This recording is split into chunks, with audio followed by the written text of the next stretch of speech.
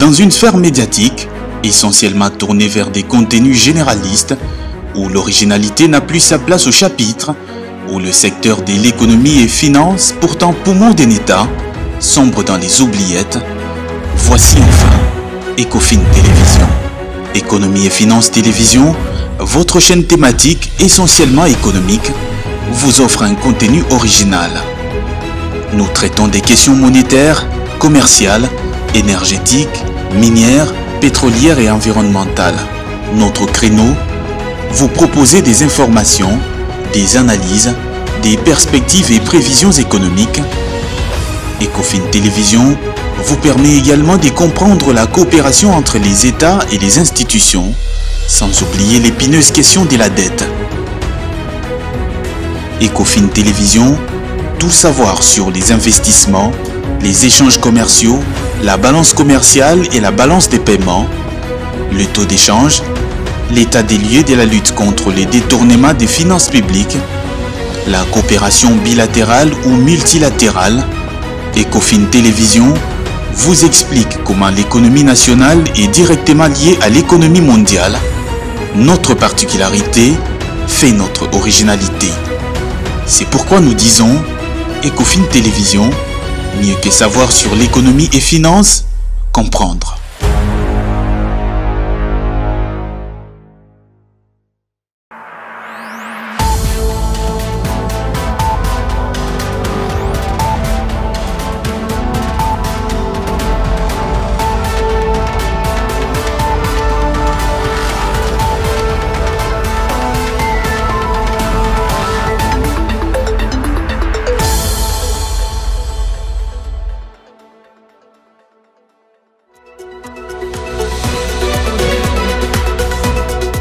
Président de la République Félix Antoine Tshisekedi Chilombo séjourne à Mbandaka depuis ce mercredi, ce en marge des travaux de la conférence des gouverneurs axée sur le programme de développement local des 145 territoires et le renforcement de l'autorité de l'État afin de relancer l'économie des provinces.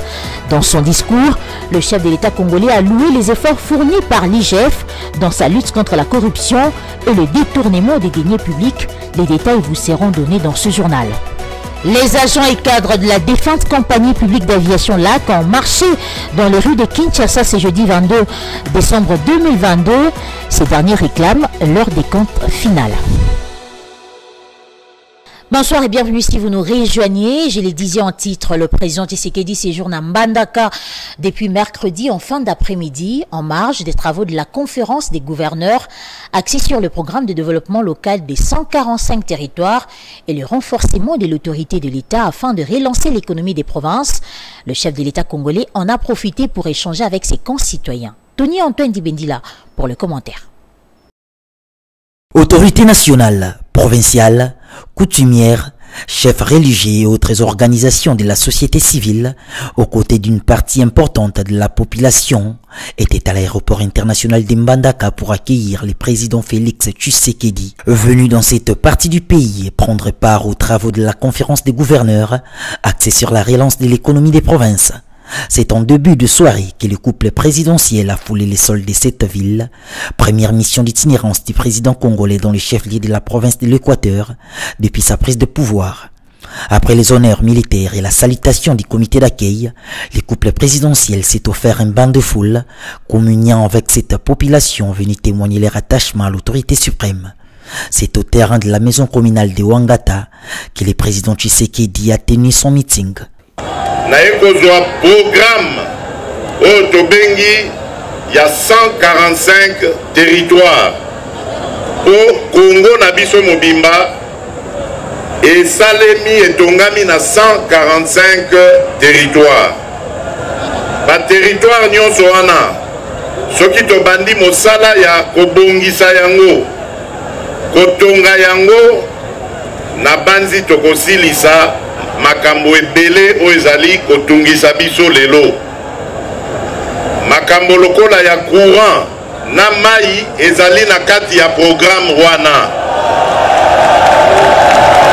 Na ye mpe awa na mbandaka oyoki na obike na kozonga kaka mokolo ya la veille ya noël le 24 me boyeba ke le 24 wana tokobanda likambo oyo tolobi enrôlement ya baélecteur mpo na maponomi oyo ya 2023 yango nga nalingi kopesa ndakisa awa na mbandaka mpo na kohonore bana ya province ya équateur mpe kolakisa bango nzela ya kokende kosenrole La parole a été accordée à l'Assemblée et quelques Congolais ont exposé leurs préoccupations au président de la République. Celui-ci a promis d'apporter des réponses adaptées le plus vite possible. Dans son discours, le président Tshisekedi a vanté les efforts fournis par l'inspection générale des finances dans sa lutte contre la corruption et les détournements des deniers publics, mobilisant ainsi la population des Mandaka contre les antivaleurs qui retardent le développement du pays. Il s'est exprimé en langue nationale, on l'écoute.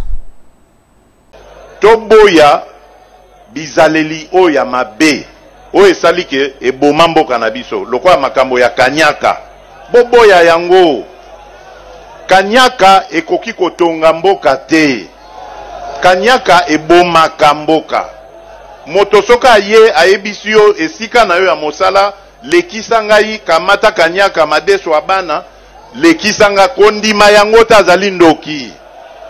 Azali mobomi yango wana surtout bino bilenge esengeli bino bozala mpenza na vigilance makasi kote wana. Toboya makambo ya kanyaka mbongo nyonso ekotaka na kesi ya leta mpo mbongo wana nde ekotonga lopitalo mbongo wana moto ekotonga kelasi mbongo wana nde ekotonga nzela mpe ekokokisa makambo oyo ya courant na mai nde yango bomoni bandanga na ya na bokonzi oyo nazali kobundisa makasi likambo ya kanyaka igf oyo totie inspection générale ya finance bomoni ke banda totia yango makoki ebandi komonono quand même na kati ya kesi ya leta me eza nanu moke mpo kongo ndenge nayebisaki bino eza na mbongo ebele. Mbongo oyo bazali koyiba kongo ezala na bakongole bango moko ezala na bapaya ezali ebele mingi. Ezali mbongo moko soki tokangisi yango makambo nyonso oyo bozali koloba oyo nde eza lisusu te. Yango naza kosenga bino bosalisa biso. Moto nyonso na esika akozala amimono moto pamba te. Moto nyonso na esika akozala na esika abengami asalela ekolo kongo bomitia yango na moto na bino bokoyeba ke na makasi na biso banso biso tu soki tosangani tosangisi makasi na biso bokomona mboka na biso ekotelema na, na, na, na pete nyonso Le mercredi, s'est clôturé au Palais du Peuple les travaux sur notamment la gouvernance du secteur de la sécurité et contrôle parlementaire. Des parlementaires et hauts cadres de la police nationale congolaise ont bénéficié de cette formation des hauts niveaux qui s'est attardée également sur la réforme et l'intégrité de la police. Suivez.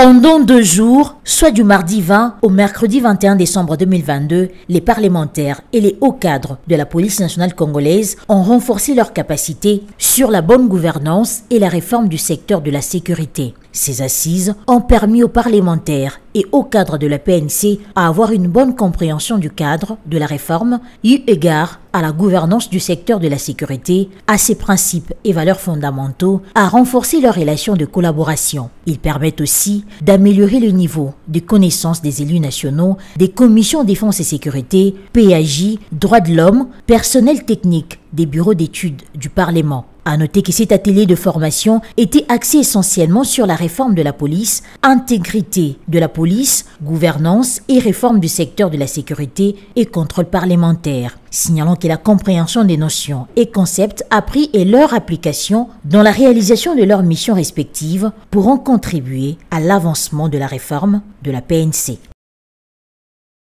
Autre titre d'actualité, les agents et cadres de la défunte compagnie publique d'aviation LAC étaient ce jeudi dans la rue à Kinshasa pour réclamer le paiement de leur décompte final à travers une marche de protestation. Ceux-ci se sont à la primature, question de se rendre compte de l'évolution de leur démarche. Un reportage de Joe Manana. Cette marche des protestations est partie du saut des moutons de la place Mandela en passant par l'ISP Gombe pour chuter à la primature. Sifflés à la main, banderoles, ces agents et cadres des lignes aériennes congolaises réclament leur décompte final. Si nous sommes ici aujourd'hui, c'est parce que ça fait deux mois que nous étions encore ici pour poser le problème du paiement des décomptes finales des agences et cadres des lignes aériennes congolaises. Je vois que vous avez vu euh, sur la banderole, nous avons fait 54 ans. Nous avons rendu 54 ans de bons et loyaux services à ce pays la République démocratique du Congo depuis la République d'Isaïe. Et aujourd'hui, nous méritions d'aller à la retraite. Nous étions ici il y a deux, deux mois parce que le président de la République, le 24 décembre 2021, avait demandé qu'on fasse l'évaluation de la liquidation de l'AC. Cette évaluation a pris un an. Et jusqu'à aujourd'hui, au moment où nous vous parlons, au moment où nous sommes là, nous n'avons pas encore vu ni entendu que le rapport de la liquidation a été envoyé au Conseil des ministres. Parce que dans aucun des comptes rendus du Conseil des ministres, nous n'avons entendu parler de ce problème. C'est la raison pour laquelle nous sommes revenus vers la source, vers l'information, pour qu'on nous dise qu'est-ce qui se passe. Malgré l'absence actuelle du Premier ministre Jean-Michel Samalou Condé, ces derniers espèrent trouver une suite favorable à leur démarche. Malheureusement, le Premier ministre n'est pas là. Ce n'est pas un problème. Je pense que là où il est, ce sont les hommes parmi les mieux informés de la République. Le Premier ministre doit savoir qu'il y a eu des gens de l'AC qui sont passés. Et comme il est à côté du président de la République, certainement aussi le président de la République saura que les papas de l'AC sont devant la primature aujourd'hui, pendant que lui est en Bandaka. Nous lui souhaitons un bon séjour. Nous espérons qu'il aura l'information que les papas de l'AC sont devant la primature pour venir savoir, s'enquérir de la situation de cette évaluation de la liquidation qu'il avait demandé. A noter que cela fait exactement 8 ans que la défunte compagnie publique d'aviation LAC se trouve dans un processus de liquidation sans que les décomptes finaux de ses ex-agents et cadres ne soient payés. Raison de cette manifestation du jour qui s'est voulu pacifique. Durant cette période des fêtes des fins d'année, il est observé une augmentation des prix de sacs de farine de manioc, communément appelé foufou à certains marchés de Kinshasa, dont celui de Selimbao. Les coûts d'un sac se négocient actuellement à 85 dollars, une augmentation de plus de 50%. Les détails dans ce reportage de Jonathan Bakele Pichunzita. Nous sommes au marché principal de Selembao, cette commune du sud de Kinshasa. En cette période de fête des fins d'année, il est observé l'augmentation du prix de certaines denrées, dont la farine des maniocs appelée foufou. Alors qu'il s'est vendu à 85 000 francs congolais, soit 42,5 dollars, son coût varie actuellement entre 130 000 francs congolais et 170 000 francs congolais, soit entre 65 dollars et 85 dollars. L'une des causes de cette hausse de prix est selon le commerçant la coupure de la très stratégique route nationale numéro 1 au niveau du Matadi Kibala, El Kirili Kinshasa et le Congo central, province qui renflue la capitale de cette denrée, rendant ainsi difficile l'évacuation des produits agricoles vers le grand centre de consommation à Kinshasa. Actuellement, le sac de foufou se négocie à 170 000 francs congolais, alors qu'il coûtait autrefois 80 et 90 000 francs. Nous demandons à l'État de trouver une solution le plus vite que possible.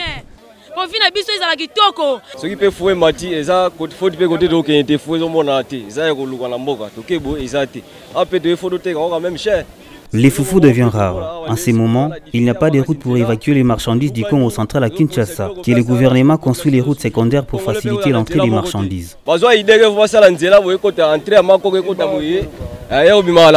pompage Les commerçants et consommateurs de cette denrée à grande consommation se plaignent de la situation et espèrent que les travaux de réhabilitation de cette route prendront fin le plus vite possible.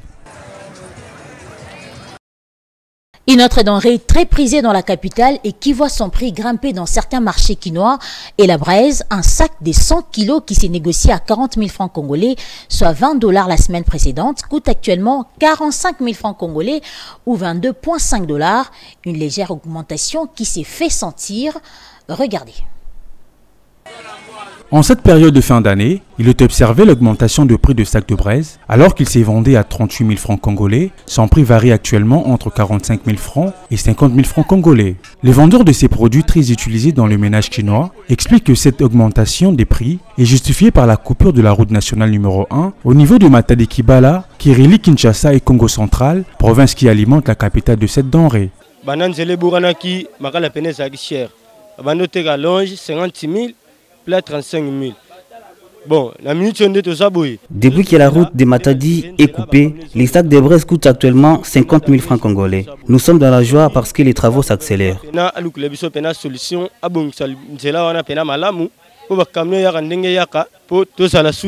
Mais na deux jours ou trois jours tomona makale varié par rapport à nzela ndenge katanaki il y a aussi des prix depuis que la route Matadi est coupée. Nous souhaitons que les travaux de cette route finissent afin que le prix soit revu à la baisse.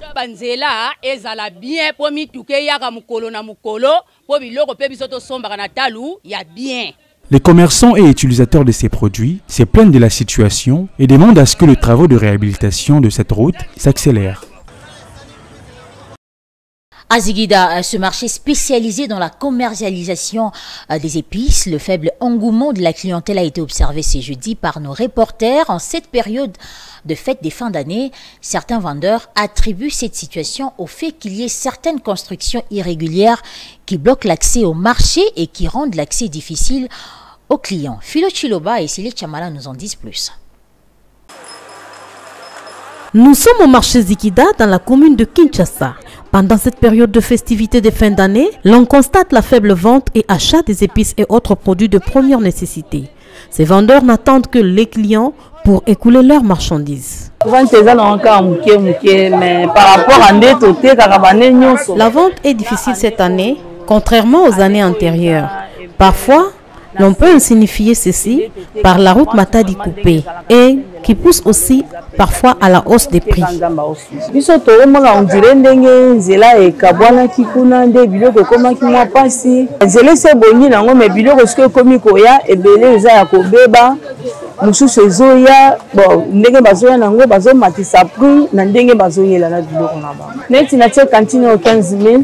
Biso tozomona ondire ndenge nzela ekabwanaki kuna nde biloko ekomaki mwa mpasi nzela esi ebongi nango me biloko soki ekomi koya ebele eza ya kobeba mosusu ezoya bon ndenge bazoya nango bazomatisa prix na ndenge bazoyela na biloko na bango neti natie kantine oyo 15 000 awa 5 000 koto 3 000 10 kilo 40 000 ta neti mikolo to oteka plati Nous ne vendons pas assez. Surtout depuis que l'on a construit le magasin devant le marché, il est difficile de connaître qu'il y a un marchand en ce lieu. D'où ceci nous empêche. Nous demandons aux autorités compétentes de voir cette situation.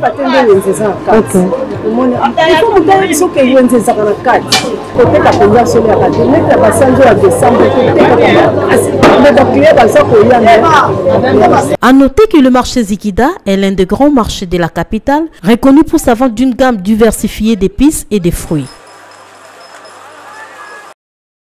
Et pour terminer, la question liée aux moyens financiers alloués à la Croix-Rouge RDC pour remplir ses missions, dont la prévention des maladies qui inclut notamment l'évacuation vers la morgue des corps sans vie de certains indigents décédés dans la rue, s'est posée une nouvelle fois à Kinshasa le mardi, après la découverte du corps en putréfaction d'une personne décédée, traînant euh, durant quasiment deux jours. Dans ce reportage de Philo Chiloba et Ruben Manata, les indignations de riverains s'y tournent notamment vers la lenteur de la Croix-Rouge. La Croix-Rouge RDC est une extension nationale de la Croix-Rouge internationale qui est une institution indépendante et neutre vivant de dons, legs et autres contributions volontaires. Il y a peu, cette dernière a fait appel à plus de fonds afin de répondre à des besoins imprévus. Justement, ces corps sans vie en putréfaction ayant passé pratiquement deux jours au croisement des avenues Itaga et 24 novembre. Les riverains rapportent qu'une équipe de la Croix-Rouge était sur le lieu juste pour désinfecter et couvrir les corps sans vie. Ils rapportent ici leurs indignations.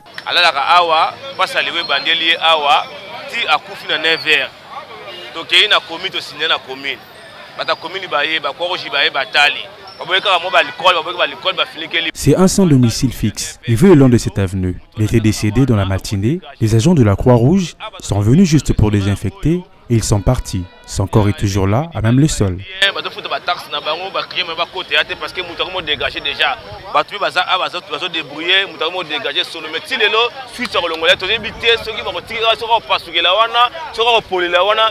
C'est ici un appel lancé à plus de responsabilités lancées aux autorités urbaines au regard de ce genre de situations récurrentes à Kinshasa, mais aussi à des personnes de bonne foi afin d'accompagner les efforts de la Croix-Rouge visiblement essoufflés.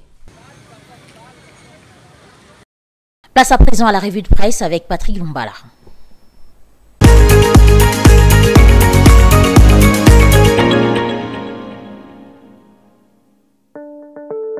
Bienvenue dans cette revue économique sur votre télévision, une revue que nous ouvrons avec le quotidien Forum des As qui titre à sa septième page La Belgique offre 250 millions d'euros pour l'amélioration des conditions de vie des Congolais.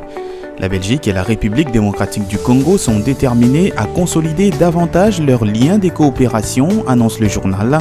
Cela s'est traduit par la signature des conventions spécifiques entre les deux pays. La Belgique va rendre disponible 250 millions d'euros pour une période de 5 ans, soit entre 2023 et 2027.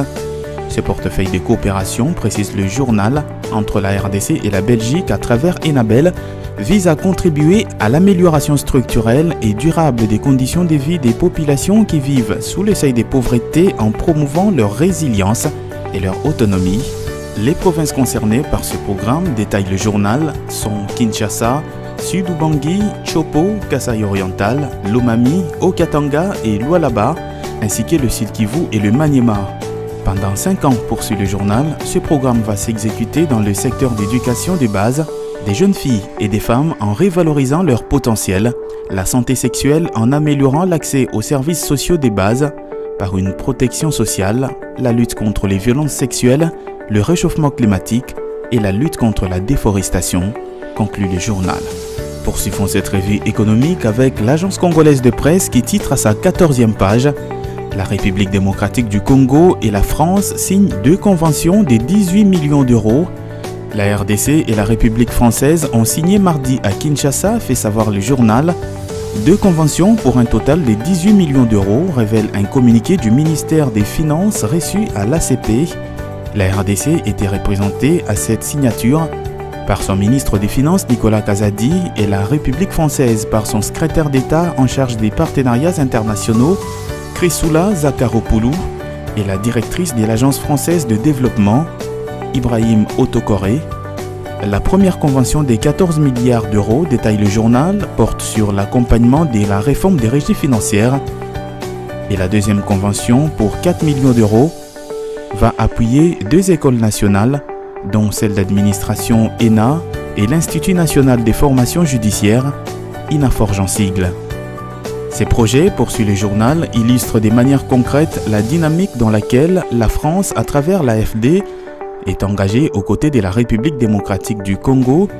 Le communiqué précise également qu'en fin décembre 2022, la moitié du volume d'engagement fixé dans les cadres du protocole d'entente aura été engagé par les groupes, soit 237 millions d'euros représentant 46% des objectifs des 500 millions d'euros fixés, conclut le journal.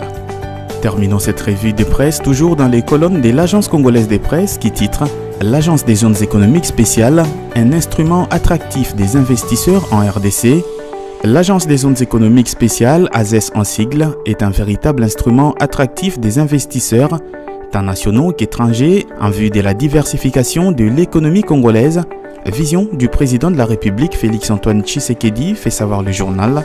Le ministre de l'Industrie Julien Paluku Kaongia l'a annoncé lors du premier conseil d'administration de cette agence, tenu le mercredi à Kinshasa en République démocratique du Congo sous la conduite de la présidente du conseil Joséphine Bombo. Des orientations aux membres du conseil d'administration de l'AZES, l'état des lieux de l'entreprise, la mobilisation des investisseurs, des partenaires techniques et financiers et la feuille de route des activités à mener ont été au centre de cette réunion. À cette occasion, poursuit le journal, le directeur général de l'Agence des zones économiques spéciales, Ogi Bolanda, a appelé le gouvernement de la République à doter la ZES des moyens conformément aux instructions du président de la République, Félix-Antoine Tshisekedi, lors du dernier Conseil des ministres.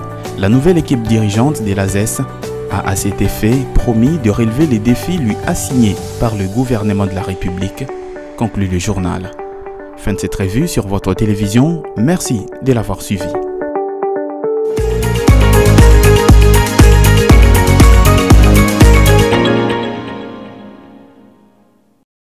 Si vous nous avez pris en cours des diffusions, mesdames et messieurs, je vous rappelle les principaux titres.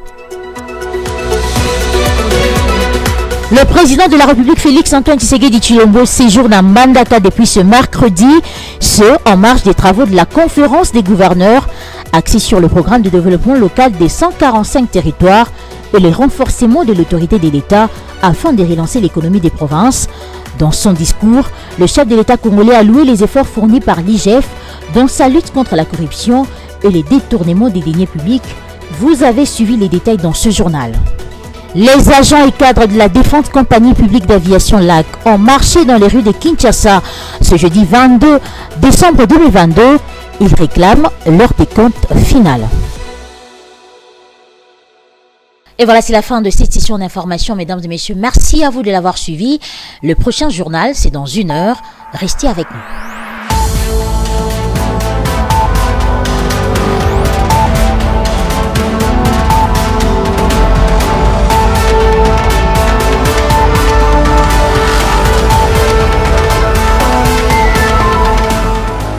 Dans une sphère médiatique, essentiellement tournée vers des contenus généralistes, où l'originalité n'a plus sa place au chapitre, où le secteur de l'économie et finance, pourtant poumon d'un État, sombre dans les oubliettes, voici enfin Ecofin Télévision.